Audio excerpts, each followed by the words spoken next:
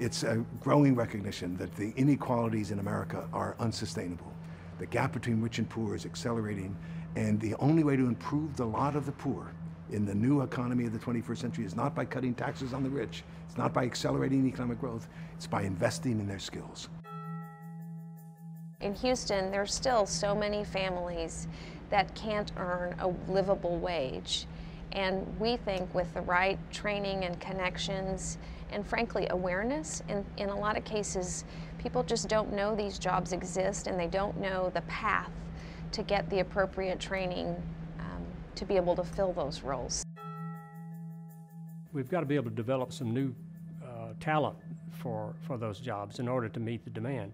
And we want to be that something else. We want to be that, that avenue for them to uh, learn new skills and be able to apply those skills in a career.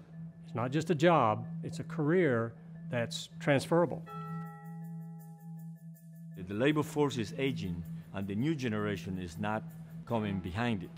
The idea is to give them a jump start where in a very short amount of time they can uh, develop their skills necessary to plug into the industry. And then they can continue and advance. See, everybody always feels like you have to be a, a doctor or a lawyer to really make it in the United States. And and that workman, that craftsman mentality that we used to have. I mean, we had the best craftsmen in the world. And for a while that kind of died out because everybody wanted to be that, that white collar in the office type of worker. And we're losing that, that middle ground. And that middle ground, that middle class, is actually what supports the economy of the United States. I mean, that's what supports the economy of the world.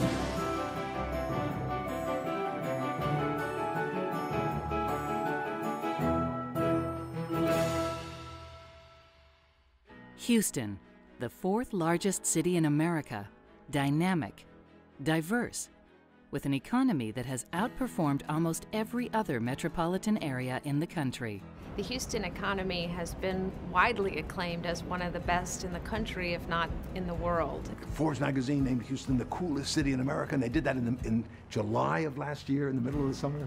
Uh, a large part of that is the low taxes, uh, low regulations, and, and that has been the story of Houston's success.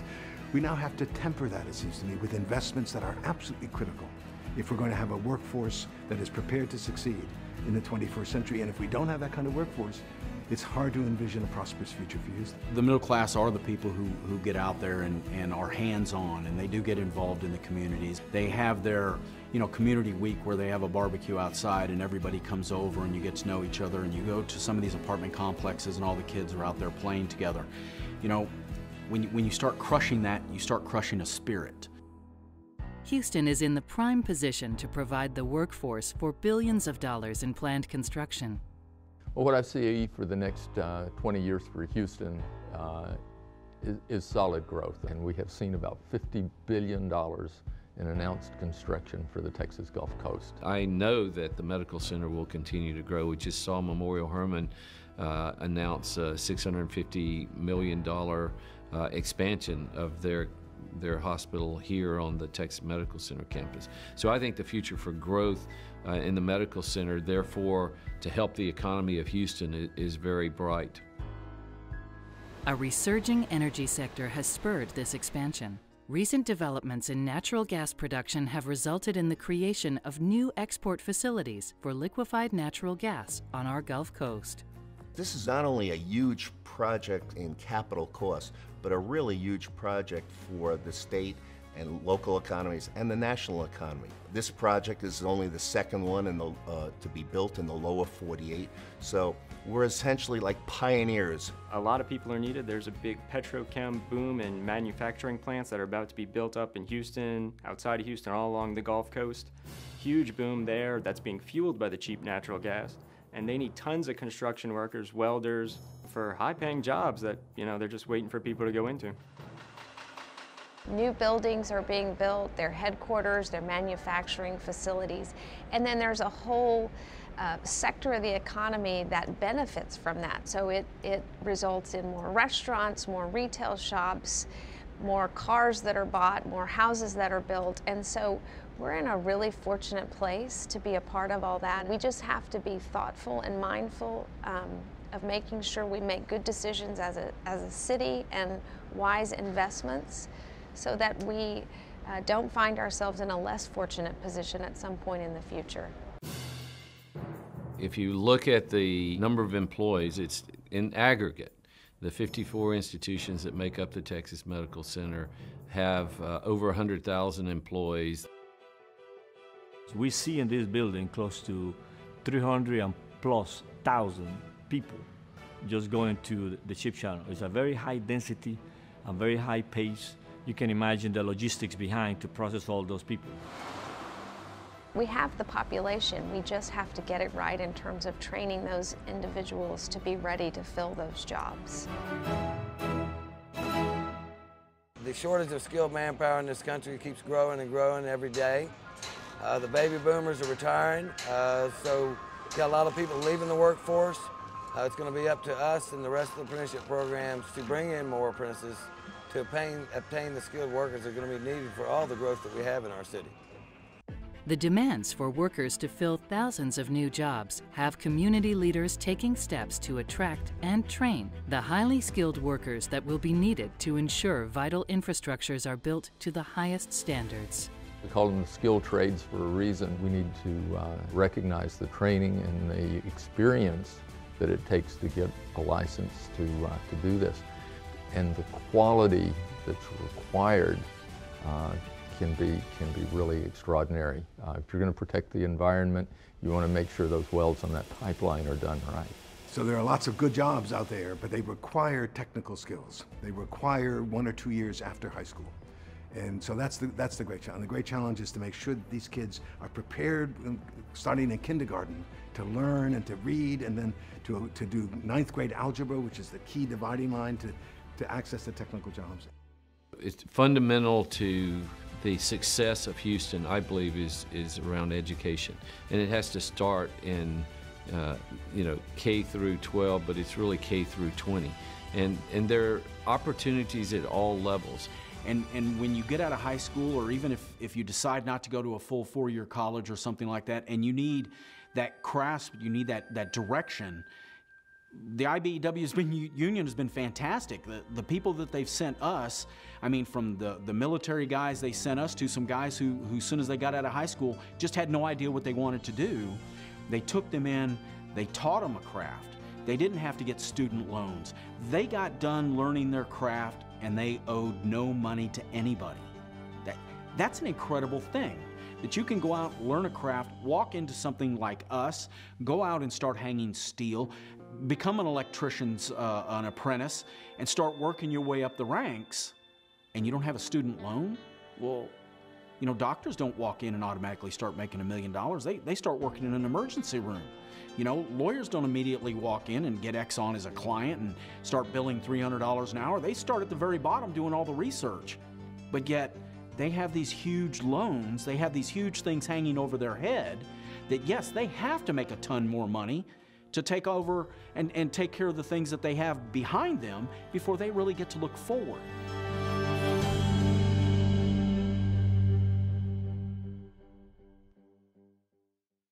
Around. Houston is busy building everywhere, and there's a growing need for more skilled workers than ever before. The Houston Electrical Training Center, sponsored by the International Brotherhood of Electrical Workers Local 716 and the National Electrical Contractors Association, produces the best trained electricians and telecommunications technicians in the country. The apprenticeship program is a five-year program. The first-year apprentices start out a little bit over $14 an hour. By the time they graduate, they're making $28 an hour plus the medical benefits and retirement. As long as you have reliable transportation, make it to the school nights, dedicate yourself to it. It's only $400 tuition. They put you out there on the job before you even get to school. You're making money in your pocket. In this school, you get your education and you get your hands-on training, you get to learn. And that's what it's all about. Be a part of Houston's future. Call the Houston JATC at 713 649 2739 or go to HoustonJATC.com. people would say Houston's the oil and gas center of the world. Uh, I was just talking to the uh, energy minister of Scotland the other day, and his line was, uh, "Move over Wall Street. It's it's Houston. That's the center." Houston is ground zero for the petrochemical industry. Four of the largest ethylene complexes in the world are located right here in Houston with a profit margin of 40 cents a pound on 60 cent ethylene. Everybody would like to have one of those plants, and we have seen about $50 billion in announced construction for the Texas Gulf Coast. And we're going to see a push on the east side of town with this petrochemical construction. Baytown will be ground zero, and uh, it's going to bring this huge influx of blue collar workers into the Houston area over the next couple of years. Located on 385 acres of wooded land near Interstate 45 North and the Hardy Toll Road, ExxonMobil is nearing completion of its new corporate campus.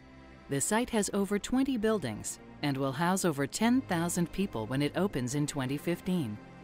The project is codenamed Delta, the mathematical term for change, and it is indeed changing things for the surrounding community, with developers building shopping centers and new neighborhoods to serve a growing population. This is truly a global center for oil and gas exploration.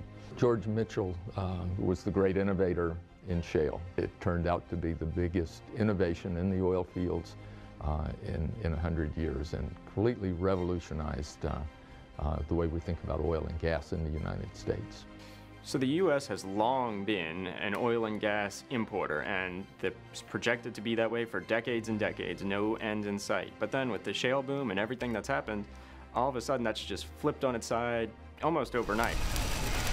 Some of the import terminals that were being built up, some of the companies got ahead of the game and, and thought, you know, now's the time. Houston based Freeport LNG is in the process of constructing a new liquefied natural gas export terminal capable of distributing 2 billion cubic feet of natural gas per day. The $14 billion investment will employ more than 3,500 workers during the construction phase and help create thousands of jobs related to natural gas production. Is this cheap natural gas gives us an enormous competitive advantage over the rest the world in producing uh, uh, these petrochemicals. Well, there's been a revolutionary change in the U.S. energy market with the discovery of shale gas and shale liquids. We've gone from a country that was short natural gas to a country with more than 100 years supply of today's technology. So it makes sense to create the jobs that come with developing all that shale gas and send the gas to countries that really need it, allowing our country the opportunity to export to our allies and at the same time be able to uh, have enough natural gas demand so that we can truly become energy independent. That's quite remarkable. What's driving a lot of that is the is a lower cost natural gas, of course, uh, throughout the whole uh, industry outlook for Houston is looking really good. This forecast, this horizon of, of huge demand, how do we meet that demand in terms of being able to staff those projects with the skilled labor? We've got to be able to develop some new uh, talent for, for those jobs in order to meet the demand. And so what, what we're doing is, as an organization and as an industry, is we're working with um, training providers, the community colleges, the ISDs, where we've got about 22 schools that we're working with to recruit some, some new talent into, into our industry. We have to make sure that, that whatever we do uh, facilitates and supports that quality worker by being qualified and being well trained, they are more likely to be a much safer employee uh, and, and, and be able to do the things that are expected by those manufacturing facilities uh, in terms of doing a safe job, doing it well, and, and not having to do it over.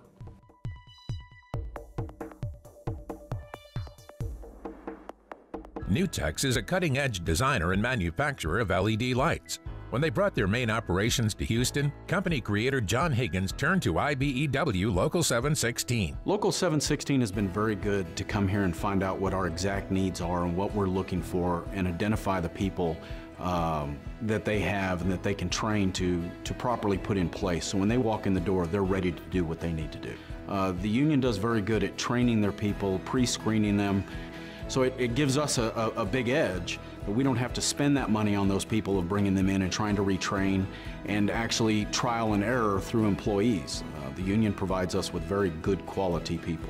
If we have issues with an employee, we can call the union. The union addresses that for us. I see that that they seem to have a pure pride factor that, that it's not an individualism, it's a team. And, and it just, it makes it a much, much nicer place to work.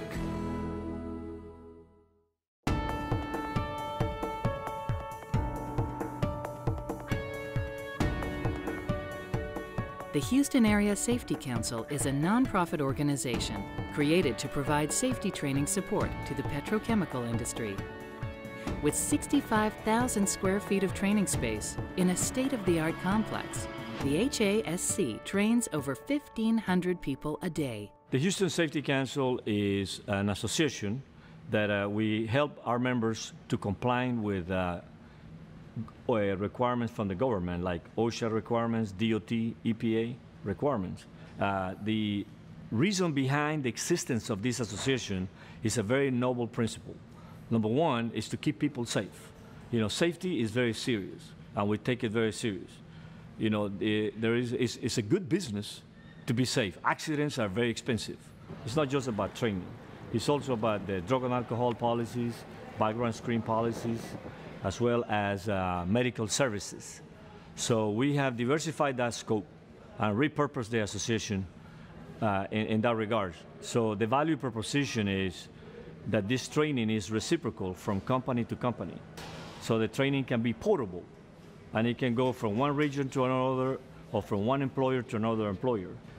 The requirements to get access for these refineries are multiple. It's customized for the site.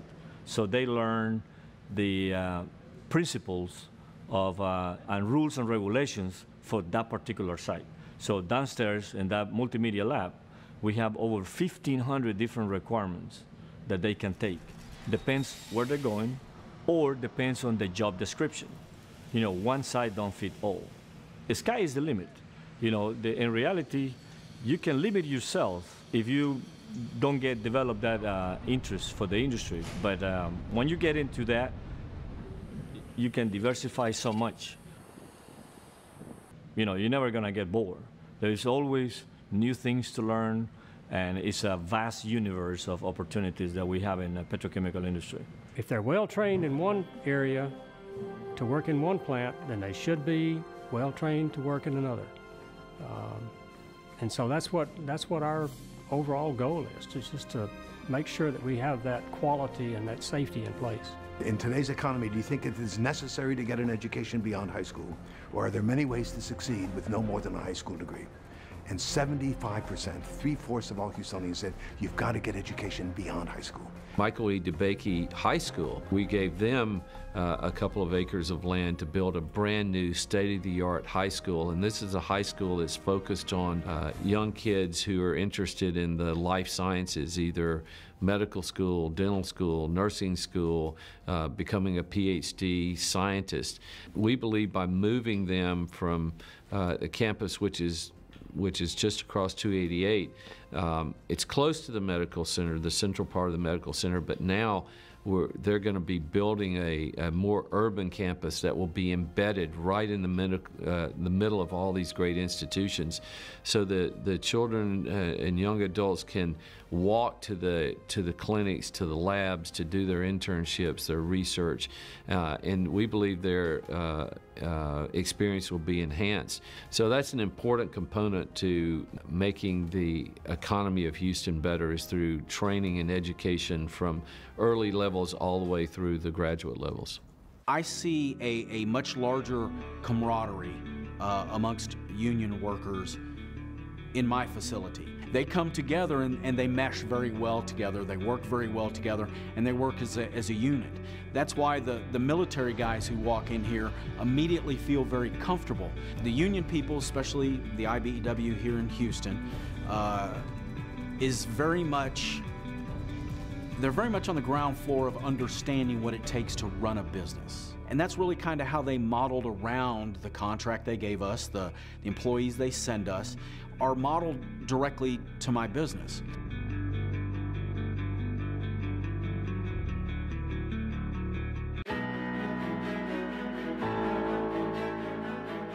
We're here at the Sheldon Reservoir today to help repair this pier to make it ADA compliant. Uh, so some of those with disabilities can still come out here and fish, enjoy the weather, enjoy the uh, atmosphere out here at the uh, Sheldon Reservoir. The sun's out, you've got a good breeze, and these guys are out here dedicated to help provide this opportunity for folks to come out and experience the reservoir. Uh, so basically it's all the unions joined together, working with Union Sportsman Alliance uh, to do what we can. This pier uh, definitely had some broken boards, a little bit unsafe, so we wanted to repair it. We help those in need as far as air conditioning, electric work, and some low-income housing, uh, especially some of our retirees and some of our older people that, that don't have a lot of help, don't have a lot of assistance. Uh, pretty much anything uh, happening in the city of Houston or around it, uh, we try to be a part of it.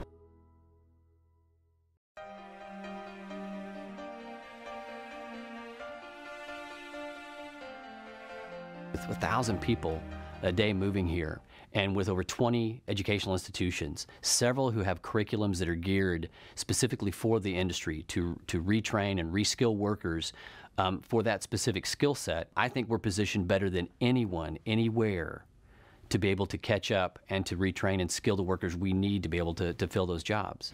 New Skills at Work is JP Morgan Chase's response to, frankly, the global workforce challenges. While this is a, a huge challenge in Houston, it's not specific or exclusive to us. And as a firm, we see it as a great opportunity to really help the, our clients and the communities where we do business. So um, JP Morgan Chase has committed $250 million over five years to help close this mid-skilled gap.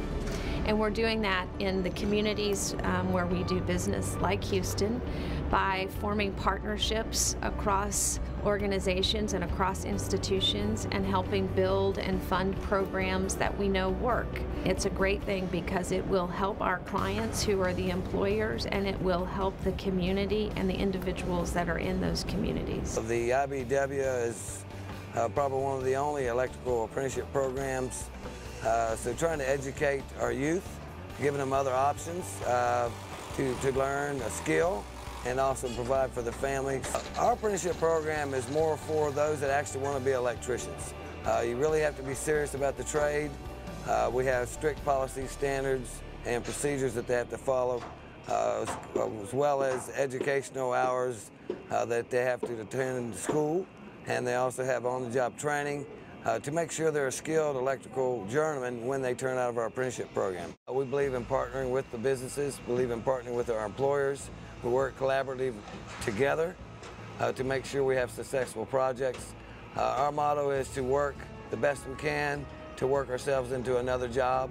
Uh, so trying to make sure we're productive, efficient, skilled, safety, uh, drug-free, certified, and trained to do our work uh, and at the same time partner with businesses to give back to the community and give back to charities. They want to bring back the craft of manufacturing, whether it's building cabinets, building buildings, wiring a building, and those middle class jobs are starting to come back with that mentality. And that's what's actually working on the economy. It's not the uber rich that are out spending their money, and it's not the, the super poor people that are out spending their money. It's those craftsmen, it's those middle class people that now, as we're developing more jobs, they're getting better pay. With that better pay, they're out buying more cars and they're buying more homes. So you see that economy being lifted, but that economy can't lift without that middle class. You kill that middle class, you not only kill the, the, the economy in the United States, you kill the economy of the world.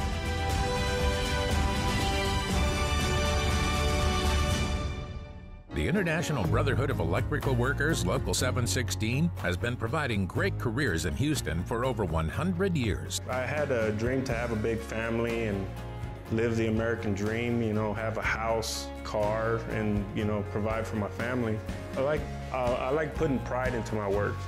You know, I give my 100% and I, uh, I do the best I can. And I feel that if if I'm not happy with it, I know the customer's not gonna be happy with it. So I like to give my all. I mean, it, it can open up many doors just starting out working, you know, as an electrician. So the union, they're they're fair across the board. You know, all we concentrate is on our work. I mean, it was the best move I made in my life. What do you think, Baker? Yeah, that for sure.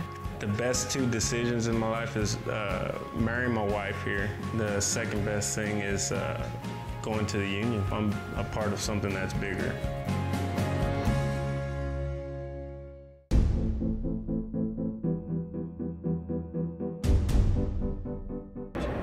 Houston is a great place to experiment and to try new things and determine what works. And when we find things that work, we then have the ability to scale them up and deploy them more broadly across our own community. But there's lots of examples of um, success that's happened in Houston that has been uh, deployed more broadly across the U.S. The charter school movement is a great example of that. And so much of that success started right here in Houston. And I think there's countless examples of Houston as an innovative city um, that tries things and, um, and then gets adopted elsewhere. Houston is a, a, city of entrepreneurs and smart people doing all kinds of exciting, interesting things and building businesses. And so it's so fun to be a part of that and help those businesses solve problems, capitalize on opportunities, grow their business that creates opportunity for other people. Energy, healthcare, we have the two biggest here in Houston as well as the things that support them. Real estate is booming. For the first time ever, we made the top five international investment list for real estate. We have land here that's affordable. We're 2% below the average on cost of living in Houston. So you can afford it here. You can just go down the list of all the companies that are expanding, they're locating, and if you notice in their expansion, um, they're staying in Houston. And they're just, in fact, finding areas where they can grow and plan for further expansion. When they're buying these lands, they're getting a little bit farther out, but they're getting extra land because they anticipate continued growth, continued optimism about our economy, about the world economy, and to expand. That's a great sign. We are the uh, head of the American oil industry, and in many ways, especially in oil services, we are the center of the global operation uh, in, in, for oil services. Houston, Texas is your answer. We've got some of the best colleges in the world. We've, we've got a great support system. The, the highways, the railroad, the infrastructure, uh, our port, which is ever growing, is just, it does nothing but bring opportunity. And with opportunity brings natural growth. And with natural growth, you just, you start developing. But it never loses that comfortable slipper feeling of being at home.